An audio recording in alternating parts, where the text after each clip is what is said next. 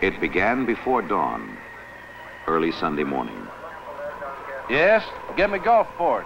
Civil defense.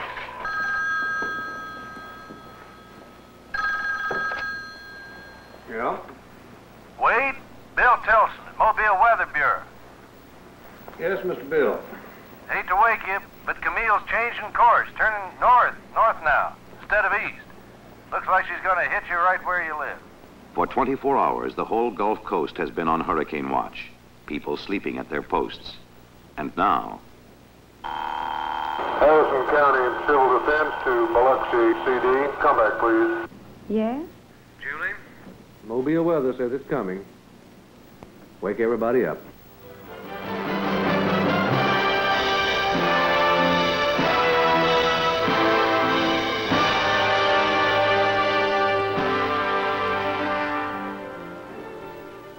For three days now, a new hurricane's been running loose along the southern coast.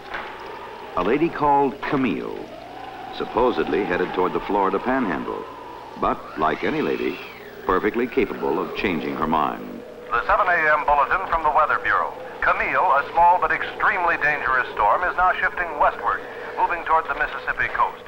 Small craft should seek safe harbor.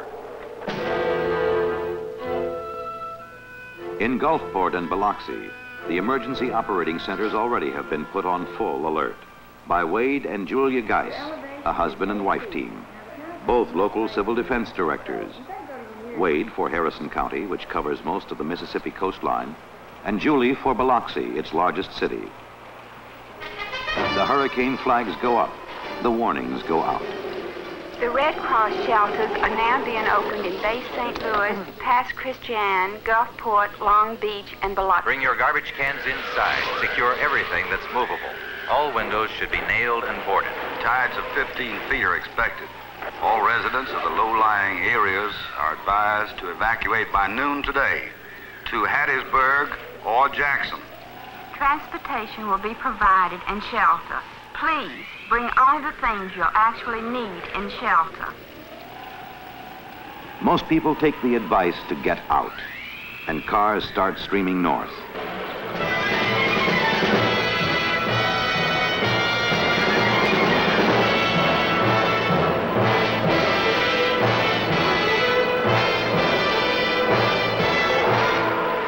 Early Sunday afternoon, Camille brushes past the mouth of the Mississippi. At first, she only blows a few shingles off the roofs. Then she begins ravaging the whole Louisiana Delta.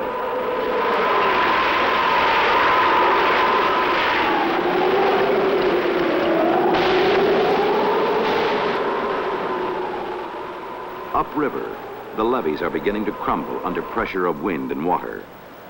Finally, at Buras, the levee breaks.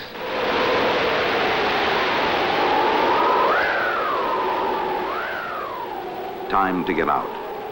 And now the few who lingered are running for their lives, north to New Orleans and safety. By late afternoon, advance winds are touching the Mississippi coast. The slowpokes are still gassing up. And civil defense workers and local police are going door to door, trying to rout the stragglers out. No, we're not getting out. Well, then, would you give me the names of your next of kin? Say, you're serious about this, aren't you? Mister, I've never been more serious in my life. Martha, let's pack up. But we'll get up on the third floor. The water won't get that high. But if the first and second floor go, the third floor is coming down. Excuse Hiya, me. pal. Come in, come in. Welcome to the hurricane party. A hundred thousand people have listened and left. Left behind, the young who think nothing can ever hurt them. The unbelievers who plan to ride it out. The sightseers. The thrill seekers. The stubborn. It's now 6.30 p.m. Sunday in Biloxi, Mississippi, and the hurricane is really beginning to be felt here. As you can see, the palm trees are blowing, the rain is beginning to increase, and the sea is beginning to churn in the Gulf. It promises to be a long, long night in Biloxi.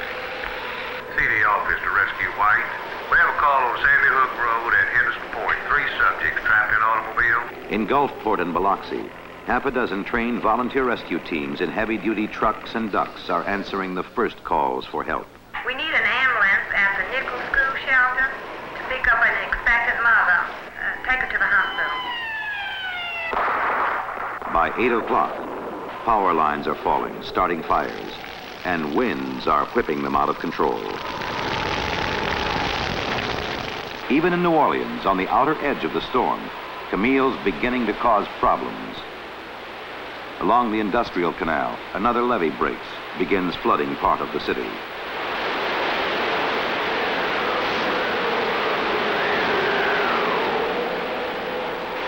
It's 10 o'clock in Biloxi now, and the eye of the storm, they say, is still over two hours away. But the wind is so strong one can hardly stand up in it. The rain is torrential, streets are flooded. We are cut off from the outside world in our motel here. There is no power, everything is black. Rescue Red to CD control. Harrison County CD. Already, one of Gulfport's heavy-duty rescue teams is in trouble. What's your 1020? Rescue Red has gone out on one mission too many. Their truck is swamped in the rising tide. To hell with the radio and the equipment. Abandon your machine. Power poles are falling, live wires sizzling in the streets. Staying out now is suicide. Rescue Blue and White, come home. All rescue units, come home.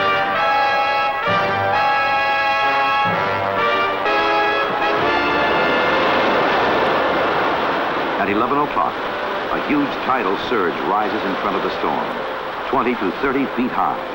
It sweeps inland with irresistible force, smashing boats, collapsing buildings, wrecking everything in its path. At midnight, the eye of the hurricane crosses east of Bay St. Louis, and winds of 200 miles an hour complete the destruction. Outside, in the wind and water, people are dying. But now, there's nothing anyone can do.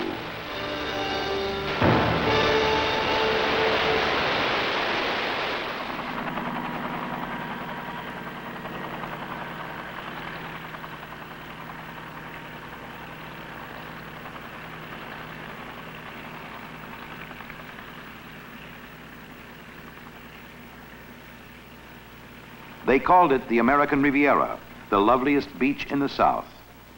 Now,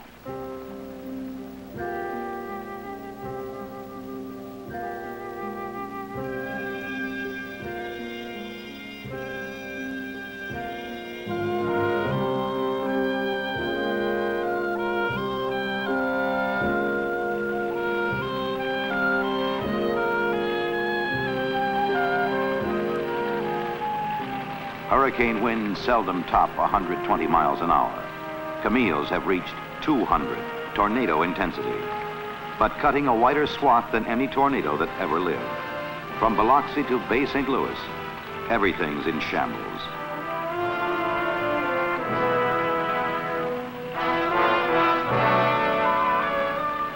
Down the Delta, it's not much better. In Buras, where the levee broke, there were 6,000 homes. Now, only six are fit to live in.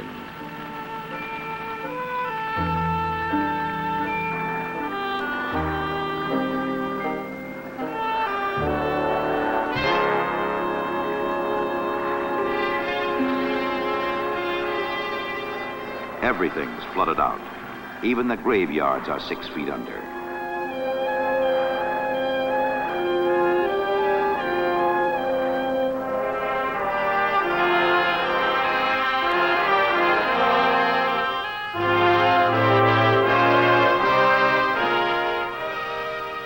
Louisiana, the damage is enormous, but the casualty list is low. Mississippi's losing on every count. Survivors are stumbling out of the shelters, still dazed by what they've been through, and at seeing how little is left. It's bound to be in here somewhere because all these are the houses that came from in this vicinity. They're all right in here in this neighborhood. But mine was right on the corner, not on even it. Yonder.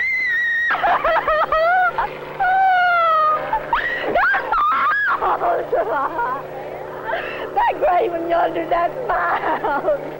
Ah. Some are lucky, others less so. You can't imagine devastation as complete as this. When we came over Monday, we thought we were going to still find our home. When we walked up the street and saw it level, we knew that whoever stayed would not be here.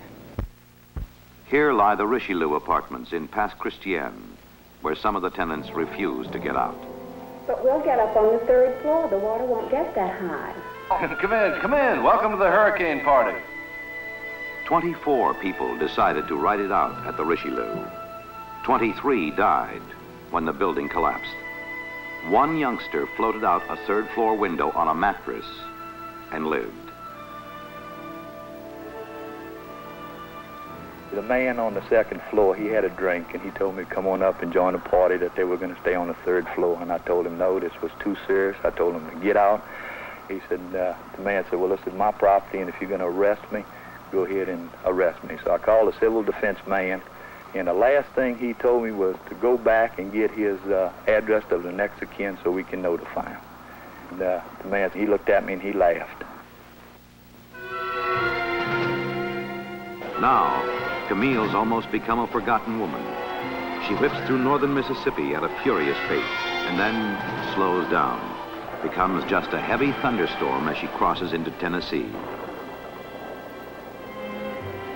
Then she turns east toward the Appalachians and the Atlantic.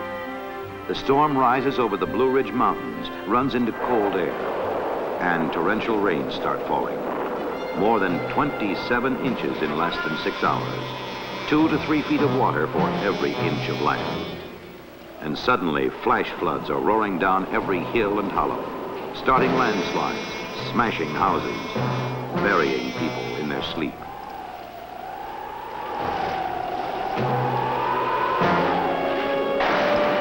In the morning, every river in central and western Virginia is in full flood.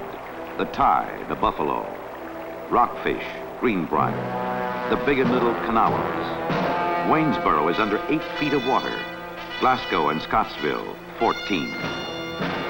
In Richmond, Governor Godwin put state civil defense in charge of all rescue and relief operations. Backs them up with all the state's resources, beginning with the National Guard.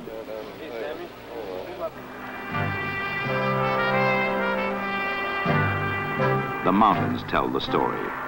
Every ravine scarred by landslide, every valley a mass of mud. And under the mud, the dead. A dozen hamlets like Davis Creek, Tyro, Massies Mill are almost wiped out. It just came down through this area just like an ocean wave, more or less.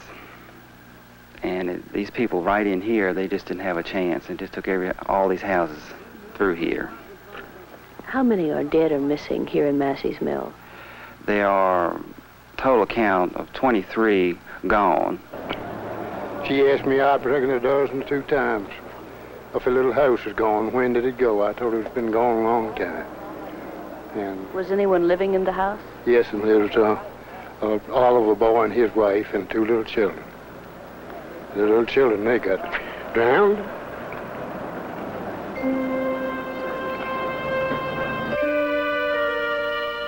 Bridges are out, highways buried. In many places, there's no way in except by helicopter. At first, everyone's going in circles. Then quickly it straightens out, and help begins pouring in.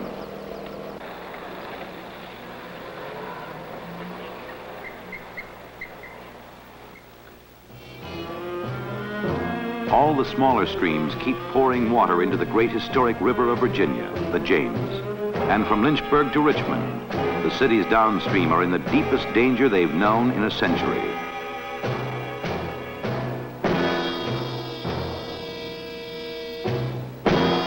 Sandbagging works. Some water backs up into Richmond through the sewer system, floods the low-lying areas.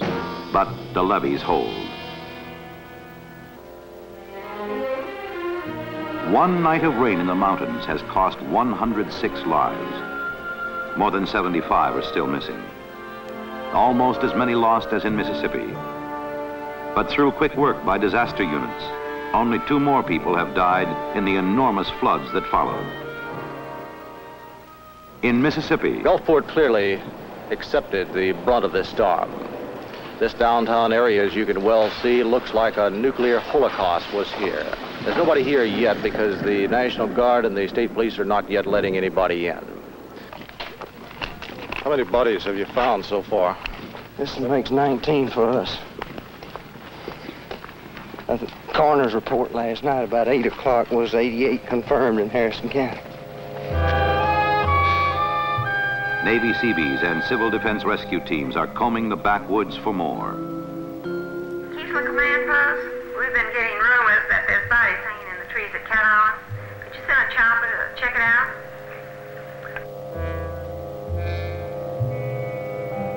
Up and down the beach, Coast Guard planes and choppers are searching the waters offshore for bodies. No one knows how many have died. There's no water except from broken mains, with the inevitable threat of typhoid.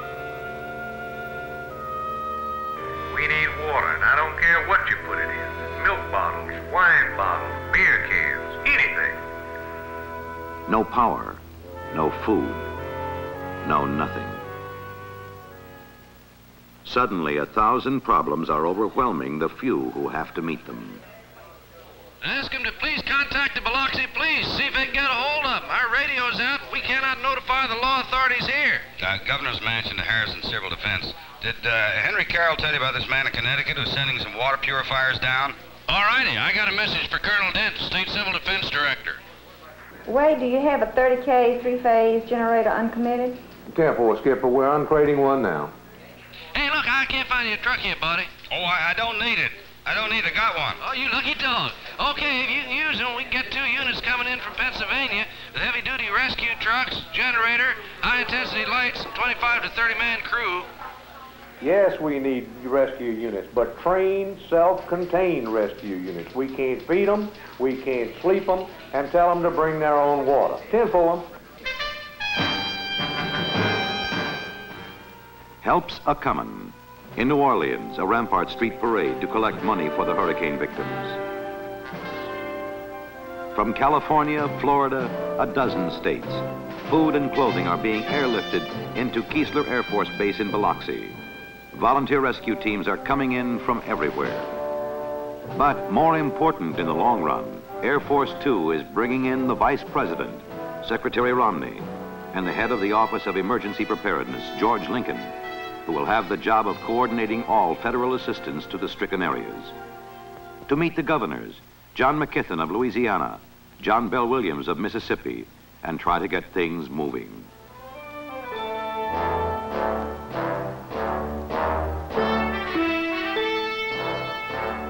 House trailers for the homeless, food for the hungry, medical supplies, emergency generators from civil defense, a thousand other things.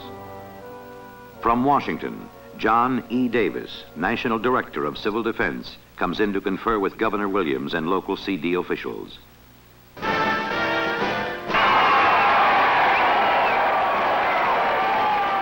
Soon the President will fly in too, from the Western White House. Mississippi, Louisiana, Virginia, and part of West Virginia have all been declared major disaster areas and will get all the help the government can give them.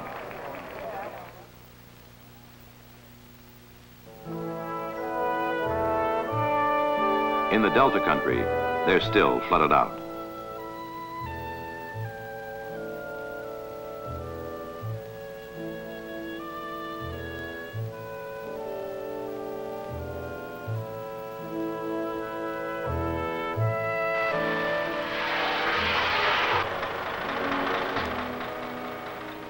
In Virginia, cleanup's already begun.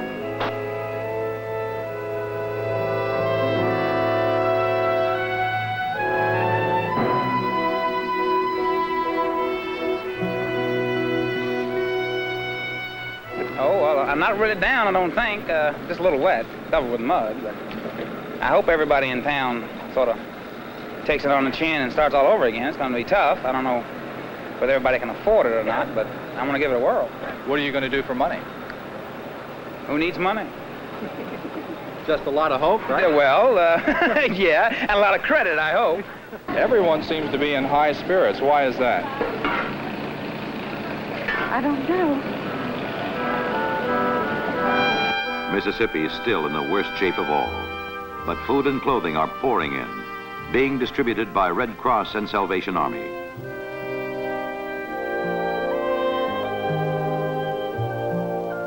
What are you looking for now? I'm trying to find me some breeches, but I don't know where to start looking. You ever think you'd be out here looking for clothes in a gymnasium? No, sir. I never thought I'd ever, ever do it. So you lost your shirt. What now? I don't know, start over again. I got the clothes I got on and $22 in my pocket. And if I'd have had a choice, I'd have picked some better clothes. Thousands are homeless, have to be evacuated north to Hattiesburg or Jackson.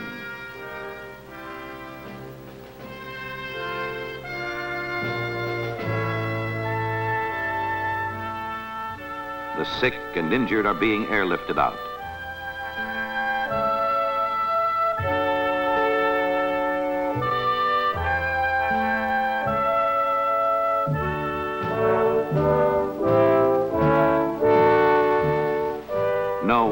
Knows yet how many have died or why they ignored the warnings and stayed behind. Mister, I don't know why they stayed, but I know why I left. I kept this thing 200 miles behind me, and I'll do it again. I won't ever stay and wait to see what's going to happen. And this is my first hurricane. I didn't know enough to get out. This is my last time I'm gonna sit down here. In the most storm, this is my last one. And my house was under 12 feet of water. And I've seen other, about all my family has had destruction of their homes. And it, and we and I'm never I hope I never see nothing like this again. I'm mighty young, but it, it takes this hard blow. Can you understand The why sewer. anybody would stay here? Does that make sense to you? No, not, certainly oh, I not don't know. now. I look at all this, I kind of wish I'd stuck around and gone with the house. I wouldn't have any problem. Others mean to hang on. And uh, did you weather the storm in your house? yeah, we'll never do it again, I'll tell you that. What happened when the roof came off? I almost had a heart attack. It was awful. And uh, you plan to rebuild and move back to Bay St. Louis? Yes, well, that's my home. Do you plan to rebuild, or what will you do now? Well, there's nothing else to do. There's part of my house still there. So I have to go back. That's all we have. I have a blind husband, and that's our roots. But there's one thing for sure. We will, re- we'll rebuild. Yeah. We got a beautiful country down here. We'll make it beautiful again. Nearly everyone along the beachfront has been wiped out, their houses wrecked or vanished. Some have lost everything, including hope. But surprisingly, on every third or fourth lot along the beach, American flags are being planted, flying defiantly. Maybe to tell the world, we aren't down yet. Now people are beginning to pick up the pieces. What are you looking for down there? Money and uh, uh, all sorts of things like uh, spoons, forks, and knives, parts of mirrors, parts of plates, razor You- blades. Have you found anything? Yep, money, spoons, razor blades. How much money did you find? Four ninety eight. How long are you going to keep digging? Till I have to go home.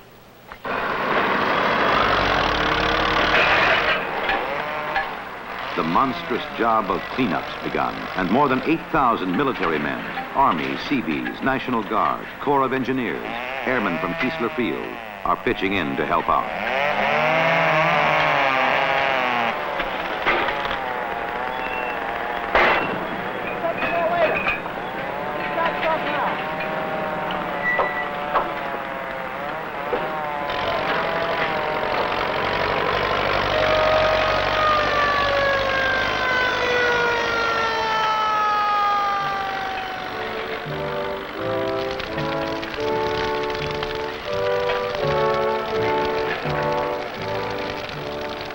Been seven long days since thousands of rescue workers have seen a bed, or their homes, or their wives.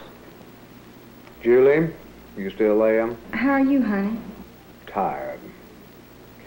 It's Saturday night and it's been one hell of a week. Let's go home.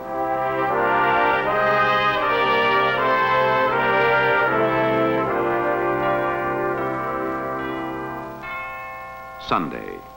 One week since Camille swept over the Gulf Coast and then went on to die somewhere out in the Atlantic. And the survivors are gathering in the ruins of their churches.